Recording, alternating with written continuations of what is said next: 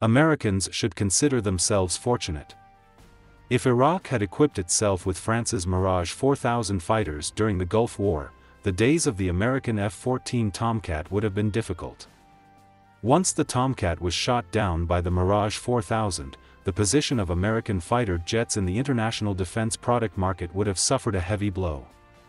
While the world only knows about the Mirage 2000, they are unaware that France has an even more advanced Mirage 4000.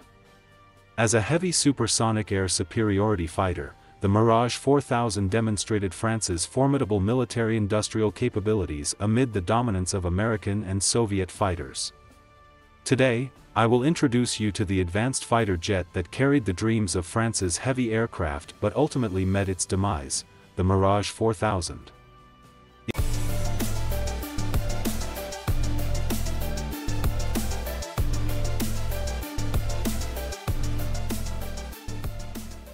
If we talk about the toughest man in France, it would undoubtedly be Charles de Gaulle. When France surrendered during World War II, de Gaulle fled to England alone and led Free France to continue its resistance. Against the backdrop of the US-Soviet Cold War in 1966, when everyone feared the power of the Soviet Union, de Gaulle led France to pursue an independent foreign policy. France not only voluntarily withdrew from NATO but also insisted on removing all US military forces stationed in France. As a result, if a war were to break out, France would not receive support from NATO countries, and the French Air Force would have to rely solely on its own capabilities to defend its airspace. Therefore, high-speed, high-altitude, long-range air superiority fighters became an indispensable choice for France. After careful consideration, France abandoned the idea of using American-made fighters, and Dassault Aviation once again took up the banner of the French aviation industry and undertook the development of the Mirage 4000. In 1975, Dassault Breguet proposed two new designs using the Snecma M53 engine. One design was for a single-engine fighter, which later became the Mirage 2000, and the other was for a twin-engine fighter, the Mirage 4000. The Mirage 4000 can be seen as an enlarged and improved version of the Mirage 2000. In terms of design, both aircraft returned to the delta wing configuration that was temporarily abandoned after the Mirage 3, and they introduced fly-by-wire flight control systems. Marcel Dassault, the founder of Dassault Aviation, firmly believed that heavy air superiority fighters were the absolute mainstay of air combat and that there was a market for this category of fighters. For example, the American F-14 and F-15, as well as the European Collaborative Development Tornado wealthy Middle Eastern countries showed great interest in these types of fighters, particularly after Israel introduced the F-15. Saudi Arabia and other countries also hope to acquire this type of fighter to counterbalance Israel. If France could penetrate the international market with the Mirage 4000, it could break the monopolies of the United States and the Soviet Union and provide overseas customers with an alternative that did not depend on the US or the Soviet Union. It could even influence the policies of a country, which would be of extraordinary significance. In September, Dassault announced that they would independently develop this delta-wing twin-engine fighter, initially named Super Mirage Delta, and later renamed Super Mirage 4000. Marcel Dassault wrote in his autobiography that the Mirage 4000 and Mirage 2000 were part of the same project, but the Mirage 4000 had a twin-engine configuration, a greater payload, and a longer range, making it a strong competitor to the US F-15 and F-18. We all know that the Mirage 2000 of France is a highly successful multi-role fighter jet. It has participated in numerous military operations since the 1980s, including the Gulf War, the Bosnian War, the Kosovo War, and others. The Mirage 2000 has also been exported to multiple countries and regions and remains one of the three main fighter jets of the Taiwanese Air Force. As the sister aircraft of the Mirage 2000, what distinguishes the Mirage 4000? The Mirage 4000 and Mirage 2000 share the same engine and weapon systems. However, in comparison, the Mirage 4000 has a 20% increase in total length and a 33% increase in wingspan. The maximum takeoff weight has also increased from 17.5 tons to 32 tons. It is a standard air superiority fighter. Apart from the difference between single-engine and twin-engine configurations, the Mirage 4000 also features a pair of fixed foreplanes on each side of the air intakes. This design has also contributed to the later improvements to the Mirage 2000. In terms of structure, the Mirage 4000 extensively utilizes boron and carbon fiber composite materials. The vertical tail of the aircraft is also made of carbon fiber composites and houses additional fuel tanks. Combined with the internal fuel tanks in the fuselage and wings, the Mirage 4000 has three times the fuel carrying capacity of the Mirage 2000. Coupled with aerial refueling capability, this allows the Mirage 4000 to have a much larger combat radius than other fighter aircraft. Due to its long range and strong penetration capability, French authorities even considered replacing the Mirage 4 bomber with the Mirage 4000 for primary nuclear strike missions. Dassault Aviation proposed a different concept at the time. The United States Air Force was using a high-low operational model, with the F-15 seizing air superiority and the F-16 providing support and executing ground attack missions. Dassault Aviation also wanted to leverage the features of the Mirage 4000 by having the French Air Force use both the Mirage 4000 and Mirage 2000 together. However, it is evident that the French Air Force did not endorse Dassault Aviation's concept. In terms of power systems, both the Mirage 4000 and Mirage 2000 use the M53 engine, which is the only single-shaft turbofan engine in the world. This engine performs well when accelerating at supersonic speeds and low-altitude subsonic speeds. It has a simple structure and is easy to maintain. Each M53 engine has a maximum thrust of 64 kilonewtons and a thrust with an afterburner of 95.1 kilonewtons, resulting in a thrust-to-weight ratio of 6.4. Without external stores, two engines give the Mirage 4000 a thrust-to-weight ratio exceeding 1.0, which is the highest among fighter aircraft of the same class. Its performance is comparable to that of the American F-15 and the Soviet Su-27.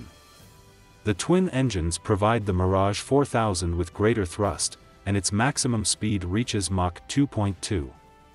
It is also more maneuverable and agile than the Mirage 2000, making it more suitable for medium to long-range interception and low-level penetration missions. Regarding the weapon systems, the Mirage 4000 fighter jet is designed with 11 external hardpoints for mounting medium-range and short-range air-to-air missiles. For ground attack missions, it can carry various air-to-ground missiles and rockets. The Mirage 4000 has a payload capacity of 8 tons and can also be equipped with reconnaissance pods. The aircraft is also fitted with two 30mm cannons.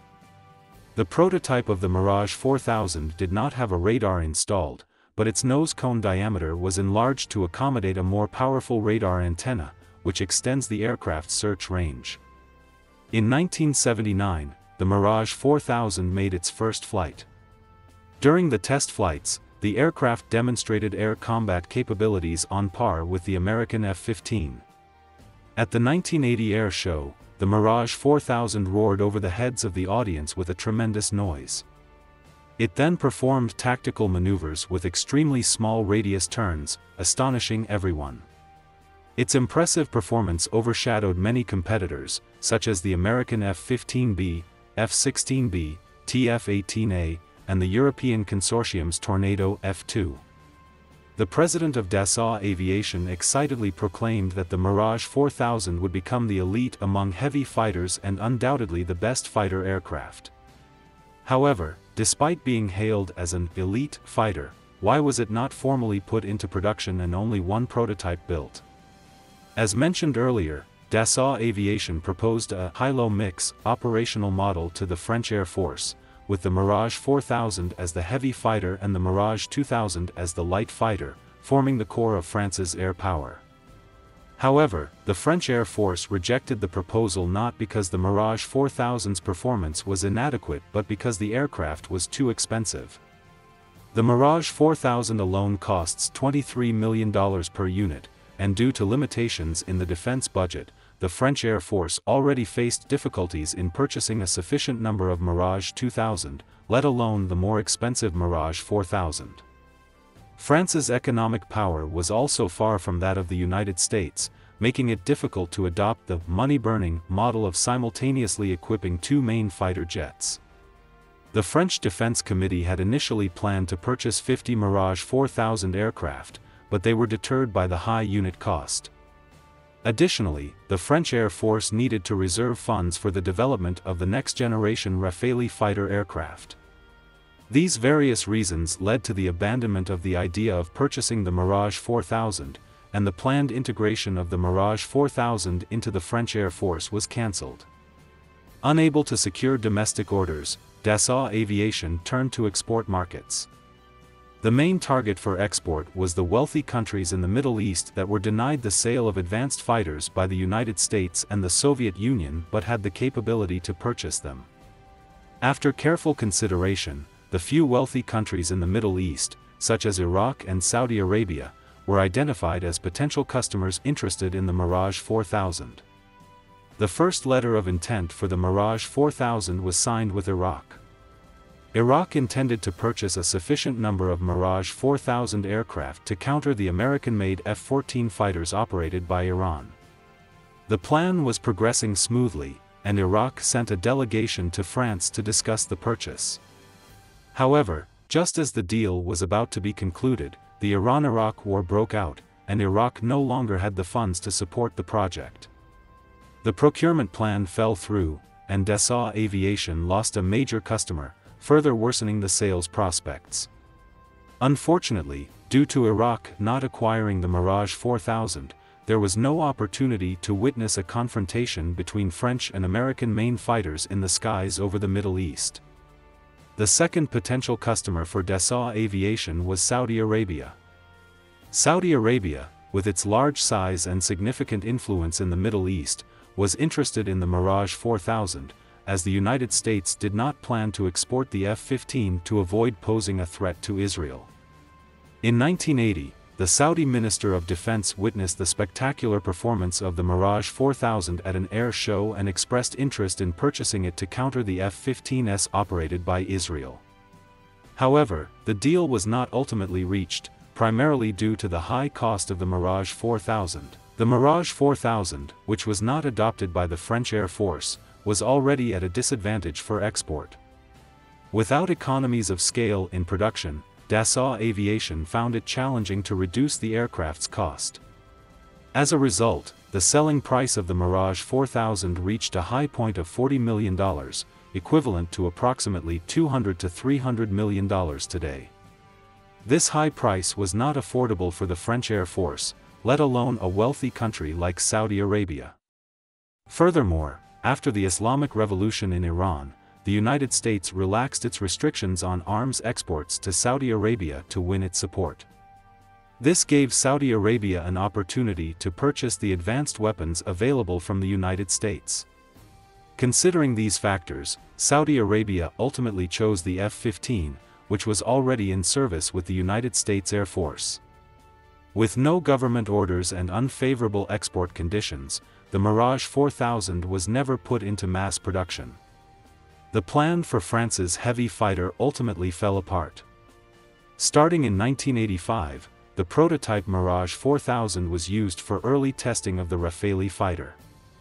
In 1995, the world's only Mirage 4000 fighter aircraft was sent to an aviation museum on the outskirts of Paris as an exhibit. The dim lighting of the museum put an unattractive end to this elegantly designed fighter jet. Its disappearance marked the end of France's dream of independently developing a heavy air superiority fighter. The president of Dassault Aviation expressed his sorrow, saying, This was our only heavy fighter that could rival the F-15.